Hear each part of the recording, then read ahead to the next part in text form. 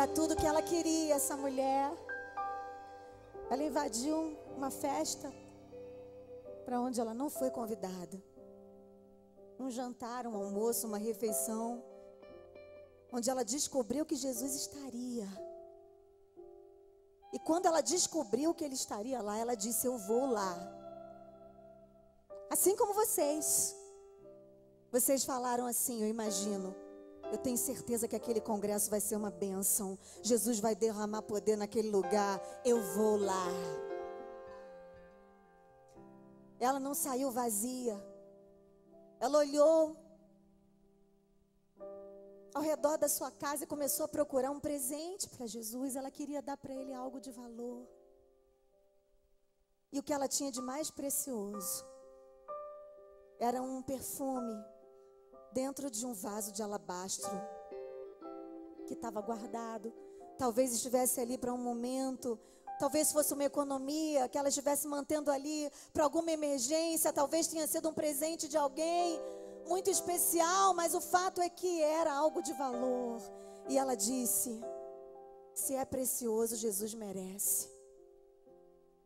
E ela levou. Entrou porta dentro num ambiente machista. Só homens sentados à mesa e o chefe da casa era Simão. E Jesus estava sentado ali à mesa. De repente ela vem por trás. Porque eles ficavam assentados no chão, a mesa era muito baixa. E os pés para trás. E ela chegou por trás. Ela se ajoelhou. E ela começou a chorar aos pés dele. E ele não olhou para trás e ela continuou chorando. Tudo que ela queria era adorar ao Senhor Jesus. E a Bíblia diz que ela chorava, lavava os pés de Jesus com as suas lágrimas e enxugava com seus cabelos.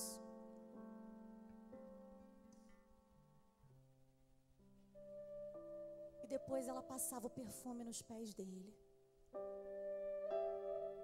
E quando aqueles fariseus, quando aqueles homens viram aquilo, eles a criticaram. Não pense que a sua adoração vai ser sempre elogiada. Vai ter sempre alguém do seu lado para dizer que você está fazendo errado. E daquela vez, eles criticaram o próprio Deus eles disseram: se ele fosse profeta mesmo, ele saberia quem é essa pecadora, porque ela não tinha nem nome, ela era só pecadora. Talvez ela fosse aquela vadia, aquela vagabunda que nenhuma mulher quer convidar para sua casa, porque ela dava em cima marido, do marido de todo mundo. Talvez ela fosse a piriguete que passa na rua com um shortinho cavadinho quando você passa, você olha para lá e puxa seu marido, seus filhos, sua família, não quer nem atravessar do mesmo lado. Talvez ela seja alguém que você conheça. Talvez ela seja você no passado. Talvez ela seja até alguém que você é. Mas eu quero dizer que seja quem for essa mulher, Jesus Cristo tem o poder de transformar a vida dela. Jesus pode. E ele, conhecendo o pensamento daquele homem, ele disse para ele: Simão, você não sabe de nada. Deixa eu contar uma ilustração para você aqui. Tinha um homem, ele era um credor e ele tinha duas pessoas que o deviam. Um devia 500 dinheiros e o outro 50. Como nenhum dos dois tinha como pagar,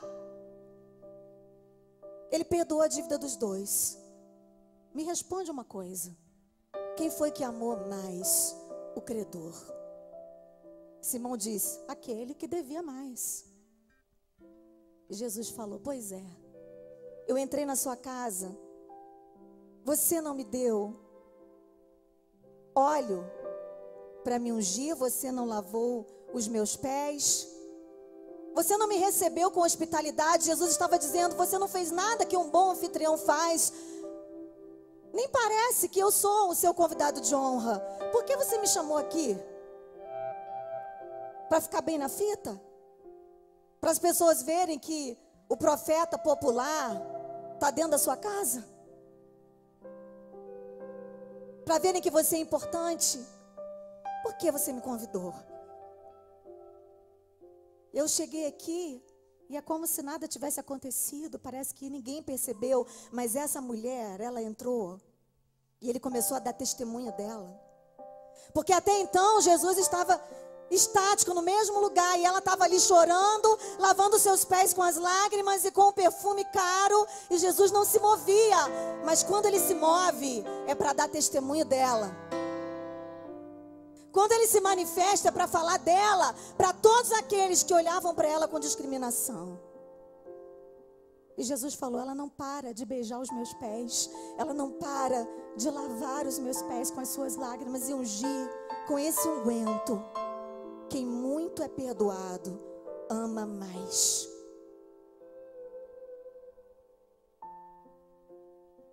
E eu fico pensando na atitude daquela mulher naquele momento. E se eu pudesse dar um título a essa passagem, eu não daria a pecadora que ungiu os pés de Jesus. Eu diria a mulher que só tinha olhos para Jesus. A mulher vencedora, a adoradora, que só tinha olhos para Jesus. Porque quando ela entrou ali, ela não quis saber de ninguém, ela não quis saber dos olhares de reprovação. Ela não se importou com o que os outros iam pensar. Ela simplesmente queria adorar a Deus. Ela queria uma oportunidade. E ela agarrou essa oportunidade com todas as suas forças. Ela entrou ali como uma pecadora, mas ela saiu dali como uma adoradora, perdoada, liberta. Jesus como se não bastasse falar dela, ele olha para ela, olha nos olhos dela e diz: Minha filha, você é livre, você está perdoada, vai em paz. Não é bom ouvir isso, gente? Você é livre, você está perdoada. Vai em paz. Diz, diz para alguém que está do seu lado: Você é livre, mulher. Você está perdoada. Vai em paz. Você está pronta para brilhar no mundo? Resplandeça a sua luz diante do mundo para que vejam as tuas obras e glorifiquem ao teu Pai que está nos céus. Jesus deu testemunho dela, Jesus falou com ela, porque Jesus sempre se dirige aos verdadeiros adoradores. Eu tinha separado alguma coisa para dizer, mas eu resolvi mudar de ideia. Depois que o pastor Josué trouxe essa mensagem, então eu vou ler o tópico 7 da mensagem dele e vou usar aqui para contar a história da minha vida para vocês. Ele disse: enquanto você estiver tentando me mudar, o Espírito Santo continuará na arquibancada apenas assistindo sua falta de sabedoria. Toda mulher que tenta roubar o lugar do Espírito Santo se frustra, porque o único que pode mudar alguém é Deus. Isso são palavras de um marido muito aborrecido, como o meu estava. Eu sou casada há 19 anos. Aos 17 anos eu comecei a namorar com um rapaz que eu vinha descobrir que era viciado em drogas. Só que ele era filho do pastor. E eu pensava, não é possível que o filho do pastor esteja passando por uma crise como essa. Deve ser algum engano. E fui esticando, e fui levando, e fui caminhando, e fui me apaixonando cada vez mais, até que um dia não deu mais. A verdade veio à tona. Ele me confessou tudo, que ele era viciado há anos em cocaína e maconha. Só que a essa altura nós já estávamos fazendo planos para casar. E eu falei, eu vou encarar isso, ele vai mudar, eu vou conseguir mudar o meu noivo, o meu namorado, o meu noivo, eu vou conseguir. Eu sei que se ele se ele me amar o suficiente, eu vou estar do lado dele e eu vou conseguir que ele mude. E queridas, acreditem, eu tentei de todas as formas. Mas não consegui. E entre idas e vindas, nós namoramos e noivamos e nos casamos em cinco anos aproximadamente. Perto do casamento, o Odilon teve uma libertação momentânea. Eu tive todas as confirmações que você possa imaginar de Deus para me casar com o Odilon. E o Senhor sempre dizia: Ele vai fazer a obra junto com você, Ele vai viajar com você, ele vai ser um pastor. Eu tenho uma promessa na vida dele, eu me agarrei nessa promessa. Eu não aconselho ninguém aqui a namorar, nenhum viciado ou dar continuidade a um namoro com uma pessoa com problemas dessa natureza, mas eu especificamente tive uma direção de Deus.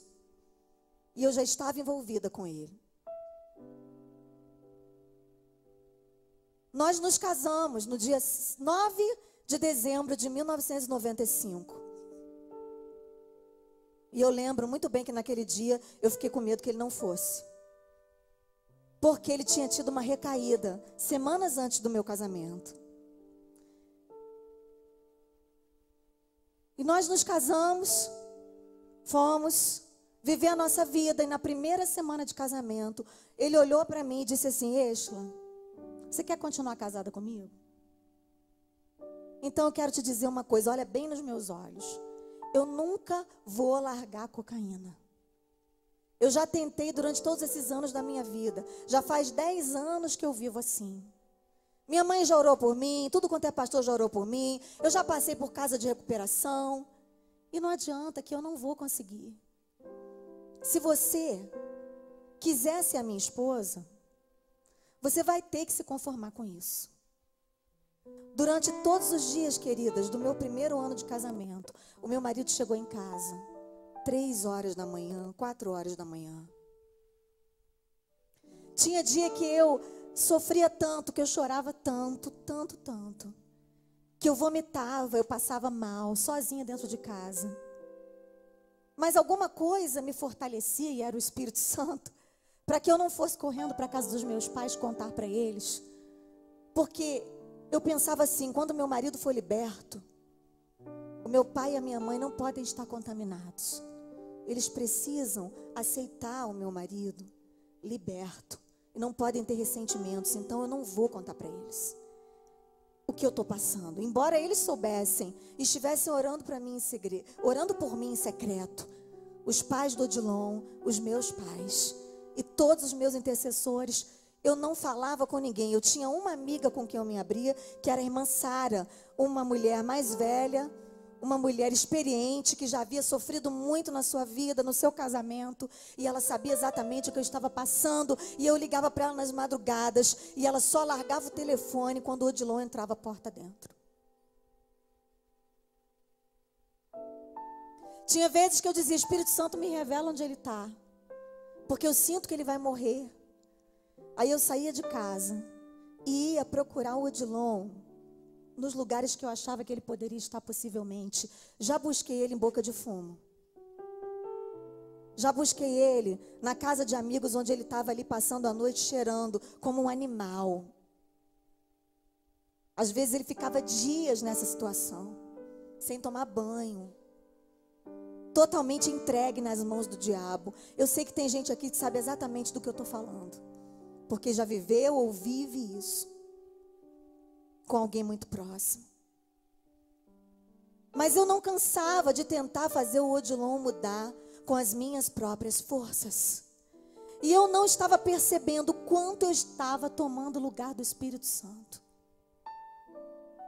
Teve uma vez que a gente brigou tanto, mas tanto, queridas, que a vizinha foi lá no meu sogro escreveu uma carta e mandou para ele, a minha vizinha de parede com parede. E falou assim: a carta dizia assim no começo: Pastor José Santos, eles vão se matar. E detalhou as nossas brigas. O Odilon não me agredia fisicamente, mas verbalmente, nós nos agredíamos direto. Porque eu não tinha um pingo de sabedoria. Eu era muito nova, eu era uma mulher rixosa. Meu sogro chamou a gente para conversar e quando a gente chegou lá no gabinete, ele falou: Dilon, O meu sogro é também sogro do pastor Silas Malafaia, ele é pai da Elisete Malafaia. Ele chegou e falou assim: Você já me viu gritando com a sua mãe, meu filho? O Odilon falou: Não, papai. Ele chegou para mim e falou: Estila, você está acostumada a ver os seus pais gritarem? Eu falei: Toda hora, meu pai grita, minha mãe grita lá em casa, todo mundo grita. Porque todo mundo é nordestino, a gente está acostumado a gritar. E o seu filho acha que eu estou gritando com ele toda hora que eu falo um pouquinho mais alto. Se eu fizer uma cara feia, ele acha que eu estou querendo mandar nele. Mas às vezes eu queria mesmo, sabe?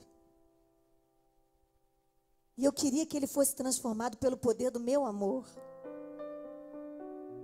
Eu jamais conseguiria.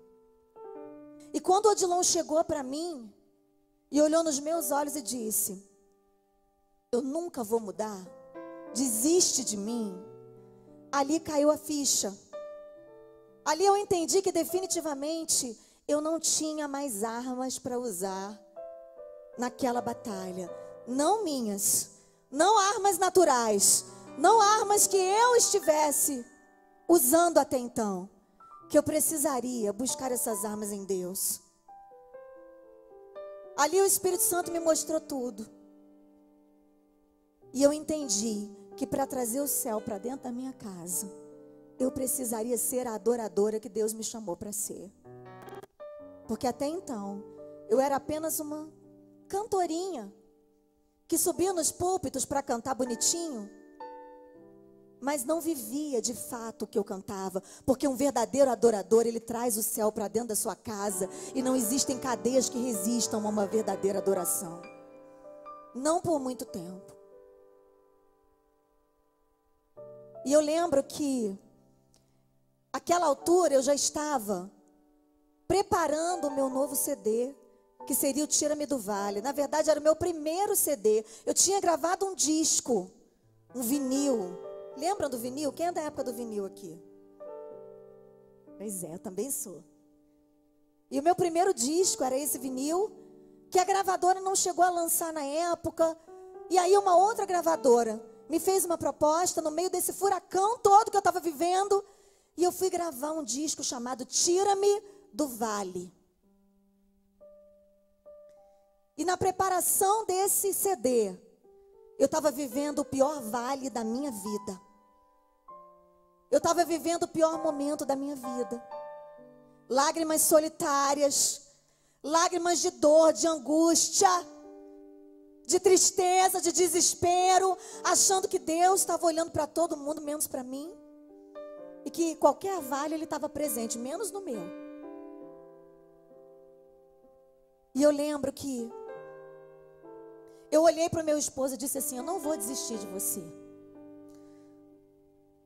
E a partir daquele dia eu mudei de atitude. Eu decidi que eu seria a melhor mulher do mundo. Eu decidi que eu ia aproveitar cada dia da vida do meu marido eu decidi que ele ia querer voltar para casa. Então eu disse para ele assim: a partir de agora, você não usa mais droga na rua, você vai usar em casa. Porque eu não quero que você morra, eu quero que você sobreviva para viver as promessas de Deus na sua vida. E ele ria na minha cara. Ao invés de pegar os pacotes de maconha que ele trazia para dentro de casa e jogar no vaso da descarga, eu comecei a ficar do lado dele, esperando que ele usasse. Ele tendo alucinações, vendo coisas, quando usava cocaína, quando usava maconha, ficava rindo à toa. E depois ele queria fazer amor comigo. Eu fazia. Já que a gente tem tanta liberdade para falar aqui entre meninas. E eu decidi que eu ia santificar o meu marido através da minha vida. E eu comecei a fechar as brechas dentro da minha casa. E o Espírito Santo foi me dizendo o que eu deveria fazer. E eu não quero fazer disso aqui uma doutrina, nem uma regra para a sua vida, mas eu quero dizer o que Deus falou comigo e é muito pessoal. E se você quiser usar para a sua vida, você usa. E se você não quiser, eu sei que o Espírito Santo vai te revelar um outro caminho. Mas ele me disse: pare de ver novelas. Eu assistia todas, só quando eu não tinha nada para fazer. Das três, das seis, das sete, das nove. Que eu sempre arrumava nada para fazer e ficava diante daquela ilusão me sentindo frustrada, porque a minha vida não era aquele conto de fadas. Por que, que a minha vida não tinha aquele final feliz? E eu decidi abolir isso da minha vida. Eu falei, no lugar da novela agora, eu vou adorar a Deus dentro dessa casa. E cada vez que eu pensava em assistir uma novela, eu ia lá e colocava um louvor. Comecei a substituir todos os meus CDs do mundo por adoração dentro da minha casa. Eu não estou dizendo que você não pode apreciar uma boa música ou colocar uma música bonita para namorar, porque você não tem que namorar ao som da Exla cantando simplesmente adorar. Ninguém merece esse clima.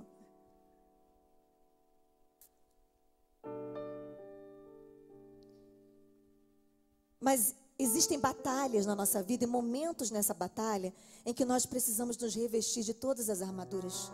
E nós não, não podemos nem um minuto vacilar, tosquenejar, distrair, sabe? E eu ficava distraída com essas coisas. Essas coisas tiravam a minha atenção de Deus e colocavam a minha atenção no problema, na luta, no caos, na adversidade, na dificuldade. Cada vez que eu ouvia uma música romântica, eu ficava mais triste, mais deprimida, lembrando mais ainda da minha dor. Então, ao invés de ouvir essas músicas, eu comecei a ouvir adoração bem alto dentro da minha casa. E eu não tinha empregada, eu saía limpando a casa, e eu ungia a casa, e limpava a casa, e ungia a minha cama, e o travesseiro onde meu marido deitava, e eu declarava: aqui vai deitar um homem de Deus. E quando ele dormia, eu colocava a mão na cabeça dele também, lambida de óleo. E fazia carinho nele, declarava: homem de Deus, pastor liberto. Deus vai cumprir as promessas na sua vida. E eu comecei a mudar de atitude, e o meu olhar mudou, porque eu tirei os olhos da minha dor e comecei a olhar só para Jesus. Como essa mulher aqui, ó, que entrou naquele recinto e só tinha olhos para Ele. Toda vez que você entrar no lugar da sua vergonha, da sua adversidade, no lugar onde estiverem os seus inimigos, você tem que tirar os seus olhos deles e tem que mudar o seu olhar para Cristo. E quando você fizer isso, minha querida, a sua perspectiva vai mudar também. Você vai começar a ver o mundo de uma forma diferente. Os seus sonhos vão florescer outra vez. Você vai ter capacidade de acreditar naquilo que Deus prometeu a você. Eu já estava sem fé nas promessas. Eu já não tinha mais fé em nada do que Deus tinha dito. Tudo aquilo que Ele tinha falado sobre o meu casamento estava afundando pelo esgoto. Até que eu percebi que Deus não mente. Nele não há mudança nem sombra de variação. Quando eu comecei a adorar a Deus, Ele começou a se revelar a mim. Como Ele fez com essa mulher. Ele olhou para ela e disse: Você é especial. Olha aqui, eu estou dando atenção para você, tá vendo?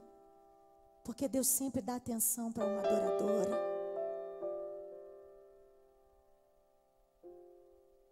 Não adianta quererem se meter com a adoradora. Não adianta quererem se levantar, porque existe um Deus que nos defende. Ele nos defende diante dos homens. Ele nos defende diante dos demônios. Ele ama falar bem de nós. Naquele momento eu creio que os céus se moveram em meu favor. E eu comecei a sentir novas forças. E eu fui para o estúdio botar a voz na canção Tira-me do Vale. E lá no estúdio já fazia mais de um ano que eu estava casada nessa situação. Lá no estúdio eu me tranquei no banheiro. Me ajoelhei e falei: Senhor, eu não aguento mais, eu já estou no meu limite. Já faz sete anos, desde que eu comecei a namorar o Odilon, que eu sofro com essa situação. Toda a minha juventude tem sido marcada por isso. Eu não posso mudar o meu passado, mas Senhor, o meu futuro ainda está intacto, está nas tuas mãos, Deus, e eu quero viver as tuas promessas. Eu vou cantar agora, tira-me do vale, mas eu preciso que o Senhor me tire desse vale. Eu preciso viver isso que eu estou cantando. E eu fui lá para o estúdio, gravei, fui para casa. E quando eu cheguei lá, mais uma vez, o Odilon não estava. Eu esperei até três horas da manhã. E quando ele chegou, ele correu porta dentro, se ajoelhou no pé da minha cama e disse para mim: Exla, bota a mão minha, na minha cabeça e faz uma oração por mim. E diz para Deus que Ele pode me levar se Ele não me transformar. Mas eu não quero continuar desse jeito. Eu não aguento mais. Enquanto eu estava orando lá no estúdio, o Senhor estava movendo tudo lá na favela, no morro onde ele estava. Teve tiroteio, teve bala para tudo que é lado. Ele se viu no meio do caos. Ele já tinha passado por isso várias vezes, inclusive comigo do lado. Mas dessa vez, o Espírito Santo falou com ele de uma forma diferente. Porque eu saí da frente e deixei Deus ser Deus na vida dele. Enquanto eu tentei tomar o lugar na vida do meu marido, o Espírito Santo ficou na arquibancada assistindo.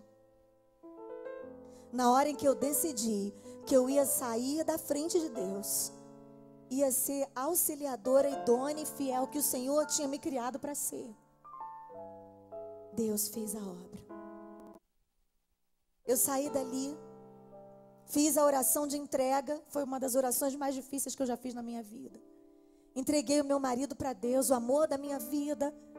E eu sabia que aquela oração era real. Que se ele não fosse transformado, o Senhor o levaria, porque Deus já havia falado comigo. Mas eu cria que o Senhor podia me surpreender. Você crê que Deus pode te surpreender? Você ainda crê nisso? Se você não crê, hoje Ele vai renovar a tua esperança.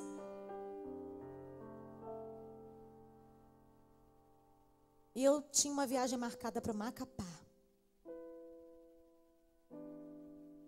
Com a pastora Antonieta Rosa. E o Odilon falou: Eu vou para um retiro espiritual da igreja. Ele passou a semana inteira em crise de abstinência por tudo ele gritava, por tudo ele esbravejava. E eu falando, Senhor, me dá calma, Espírito Santo, me dá tua graça. Ele não pode perder essa oportunidade de ir para esse retiro. Ele já estava um ano sem ir para a igreja comigo. Vocês podem imaginar? Eu ia cantar sozinha.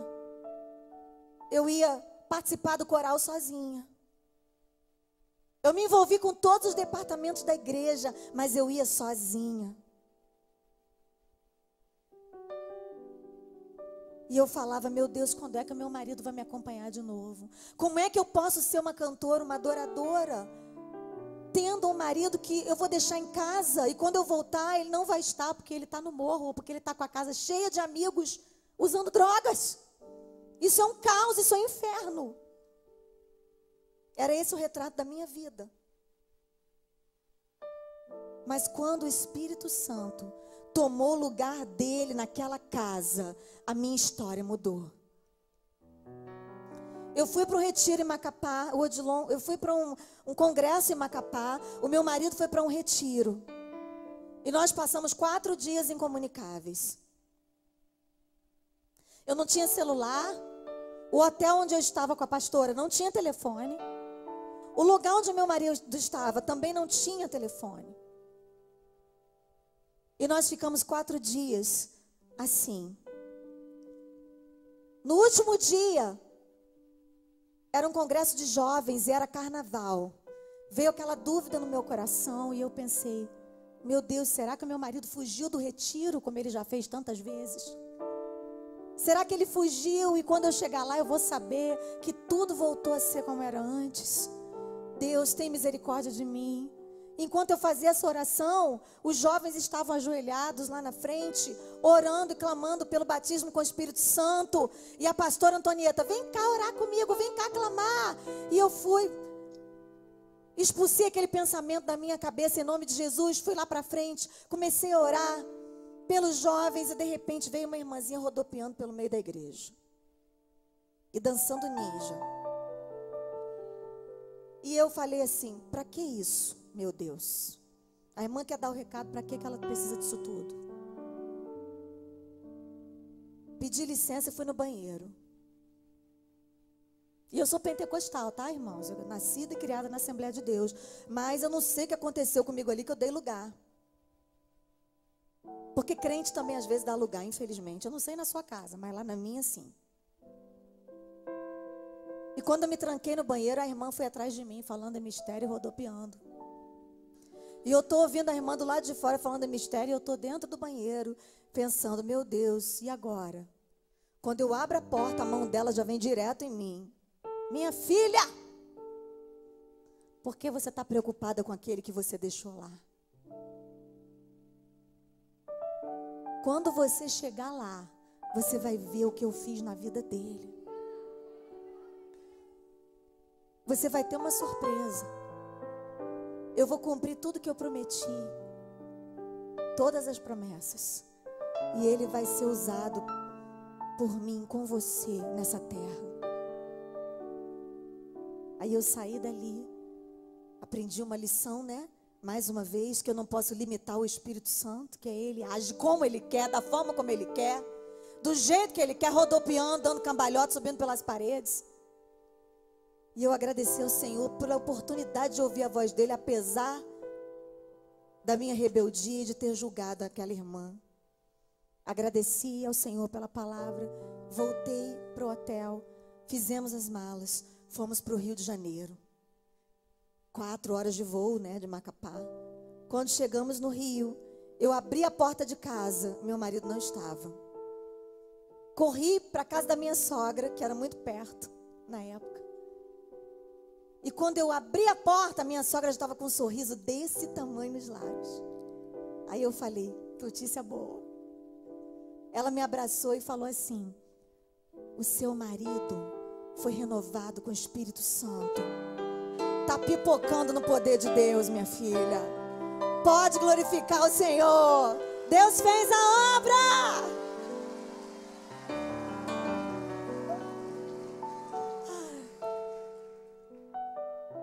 Algum tempo depois ele foi consagrado a diácono. Logo depois ele foi consagrado a pastor. E hoje ele dirige uma das filiais da Assembleia de Deus Vitória em Cristo, ao lado do pastor Silas Malafaia. E eu sou ovelha dele, só para vocês saberem. O meu marido hoje é o meu pastor. Louvado seja o nome do Senhor.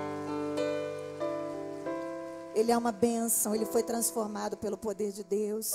Mas antes dele ser transformado, queridas, o que eu quero dizer para vocês é que eu precisei ser transformada. Vocês entendem? Vocês entendem que nós somos agentes da transformação de Deus dentro da nossa casa? Que muitas vezes o Espírito Santo pode estar sendo impedido de agir por causa da dureza do nosso coração. Deus nos deu uma autoridade tão grande que é edificar a nossa casa. Mas nós também temos o poder de destruir a nossa casa com as nossas próprias mãos. E eu não sabia que eu estava sendo uma destruidora mesmo tendo uma arma tão poderosa em minhas mãos, que era a adoração, Deus tinha me dado uma voz. Eu tinha um violão. Eu tinha CDs de adoração que eu podia botar para tocar, mas ao invés disso eu escolhia ver novela, chorar, reclamar, gritar com meu marido e ouvir música da fossa quando ele ia para o morro. Qual tem sido a tua atitude diante da adversidade?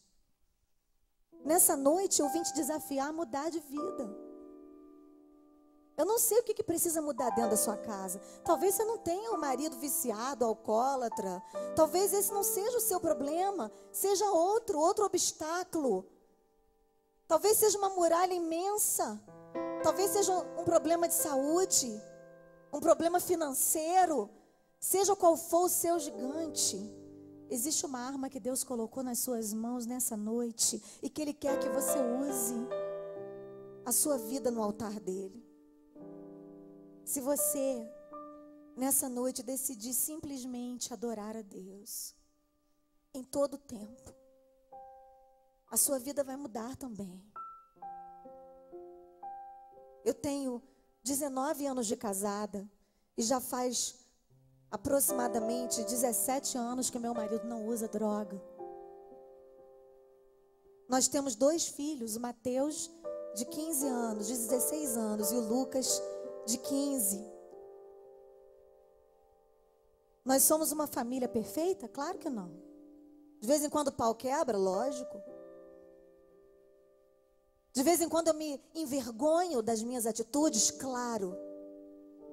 Mas hoje eu posso dizer que eu tenho um lar funcional, um lar saudável, onde cada pessoa ocupa o seu devido lugar. Onde Jesus Cristo é o cabeça. O meu marido é o sacerdote do meu lar. Eu sou auxiliadora dele. Os nossos filhos são a nossa herança. E todas as vezes que o diabo tenta me dizer o contrário, eu começo a adorar a Deus e repreender todo pensamento contrário dentro da minha casa em voz alta. Porque eu aprendi que quando a gente fala com Deus, a gente pode falar menos com o cônjuge sobre os problemas que estão acontecendo. Eu aprendi que antes de levar os problemas ao Odilon, eu posso primeiro levar ao altar do Senhor. Antes de acusar o Odilon de tudo que eu sei que ele está fazendo errado, porque a mulher vê mesmo, a mulher sabe mesmo, ela percebe primeiro, ela tem esse poder de percepção. Antes de jogar na cara dele que ele está errado, eu posso dizer para Deus: Senhor, eu estou percebendo que ele está errado, mas eu não vou dizer isso para ele, quem vai dizer é o teu Espírito Santo. E todas as vezes que eu tento fazer diferente, dá errado. Nessa noite eu te desafio, querida, a fazer um jejum de murmuração dentro da sua casa. Quando você sair daqui, faz um jejum de uma semana de murmuração, que tal? Que tal você fazer um propósito com o Senhor?